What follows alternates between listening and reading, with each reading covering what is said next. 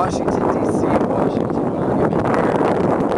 I've been here. It's a museum. Look at this brown Smithsonian over there.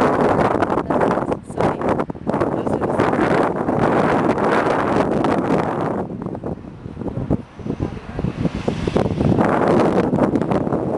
Their business. Their business.